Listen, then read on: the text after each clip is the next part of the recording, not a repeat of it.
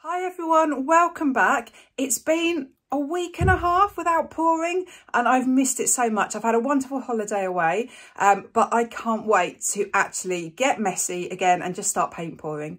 Um, while I've been away, I've been thinking, right, what do I really want to work on? And what I'd like to try is to do a Dutch pour and get that lovely twist. There's one up here, it didn't have the twist, but I did a similar one and I managed to get that twist. And I've been really thinking it through of how to get that so it looks like the paint is is like a ribbon that's twisting. So this is going to be experiment one. I've got a plan of how i can achieve it. I want to see if it works. Um, so let's get started. So I have here 30 by 42 centimetre canvas. Um, it's been used before, so you can see a design underneath, but I've put some gesso to try and um, to try and hide it. I'm going to use this amazing colour. It's the Iridescent Blue Black by Pebeo Studio Acrylic.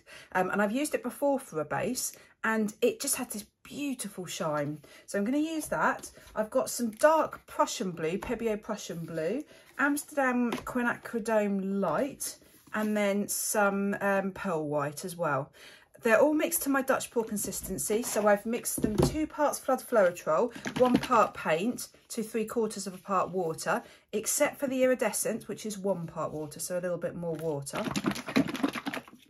So let's just cover the base first of all.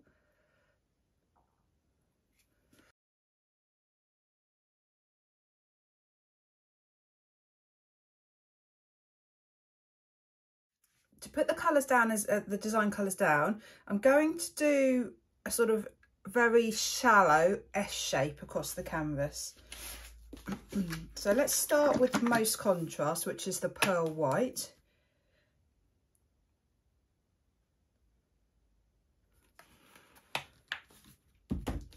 And I will come back and put more paint on, I think.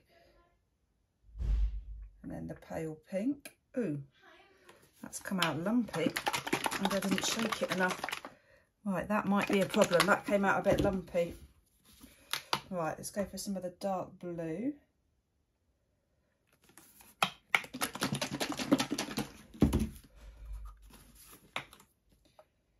So I really want to keep this colour scheme quite simple with these three colours, but I want quite a lot of paint.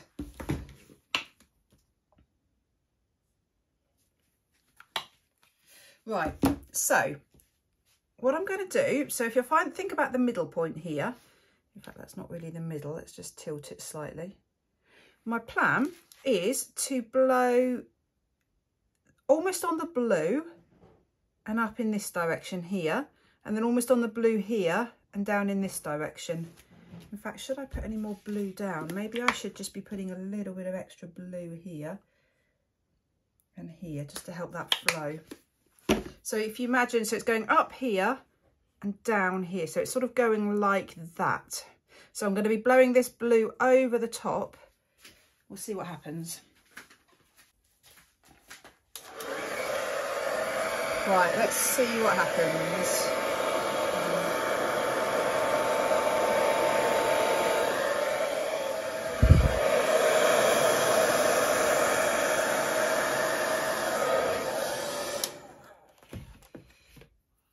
Right, it definitely worked, but there's definitely something wrong with my paints. That pink has split. I wonder why. Okay, let's just um, work on this. I'm not happy with the paints, but this is just an experiment. So, and I think I might have got the twist.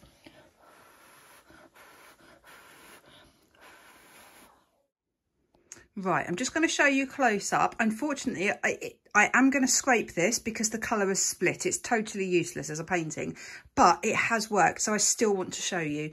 Um, so you've definitely got the colour coming down here and then up there. So you can see you've got this quite neat twist right in the centre. It's a bit of an illusion. You have to see it, I think, stepped back. But let me show you what's happened with the paint. Can you see the white, the pink? Totally, totally split. Now, I use Flood Floetrol and I buy it on eBay. And the Flood Floetrol that I have just been using, um, when I opened it last week or, or, a couple of weeks ago, it's got a really awful smell to it. Um, so I don't know if I've got a, a dodgy bottle of uh, Floetrol. uh, flood Floetrol. Has anybody have had that problem where they've opened some flood Floetrol and it's smelt funny? Because I want wonder, I wonder if it's a problem with the flood Floetrol. Um, so real shame. I'm going to scrape this because it's it's useless. But as a first experiment, this has worked. Um, this is, yeah, I've got the twist. I'm happy with the technique. So I've scraped the canvas. I'm going to go again with similar colours. I haven't got enough of that blue mixed up. So I'm going to do a Prussian blue base um, instead this time. Right. I'm going to do a slightly different shape desk this time. See, that's come out a lot better now. Maybe because I've um, given it a really good shake. Let's put some silver in.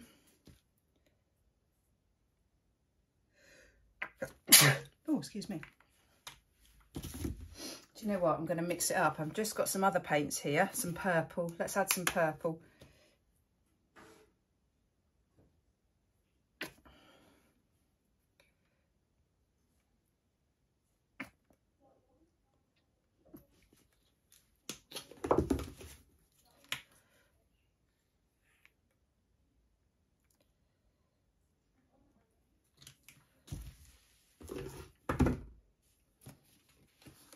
So I'm just adding a little bit more at the edges so I can get a more intense colour at the edges where it's going to fan out a bit more.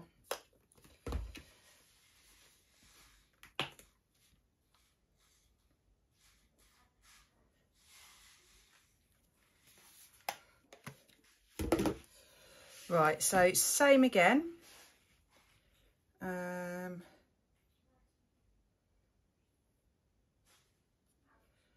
just going to blow. In fact, I should be doing this the different way around, shouldn't I? It needs to be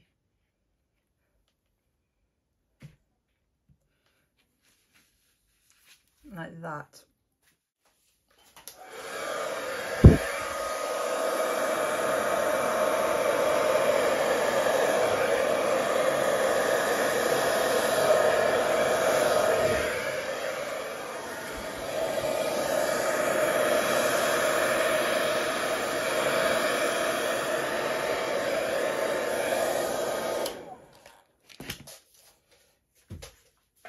Right, that's worked just about. I've got less of the twist.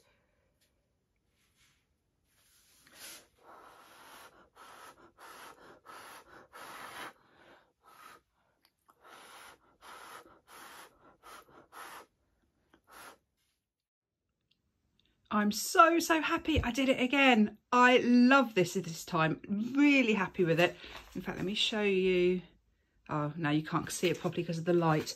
Um, I've definitely got that twist. It's quite a chunky twist. I think what I might need to do is just concentrate on having less paint in the centre. Um, but it's beautiful. So they're the only real cells I've got. Um, but look at the sparkle. It's so pretty. Um, I made it really nice and fluted around the edge here. Um, and then it's a little bit straighter on that on that inside edge. Um, really, I just love the colours. Um, I really like the composition and the design. It hasn't split. So the paint, oh, sorry, I think it looks fine. I think maybe it had just settled in the bottle and I hadn't shaken it enough. Maybe that was why. Um, so glad though I followed my my instinct and just scraped that because it I wouldn't have kept it.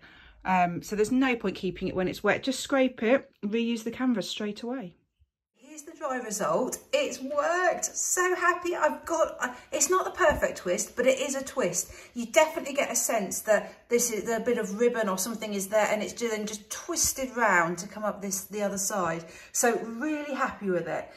You might think it looks a bit dark. It does. Let me tell you what happened. So along the, the, these bits of negative space, it when it dried, for some reason it had loads of little white speckles, like little white bubbles in it, white air bubbles. So I needed to cover it. So I poured on some, once it was dry, I poured on what I thought was this blue, but I poured the wrong colour on. I poured on Payne's Grey. So actually, in fact, you can see the little air bubbles. They're now not white though, you can just see the texture. So I poured the wrong colour on. So it's now Payne's Grey, for the negative space instead of the dark Prussian blue.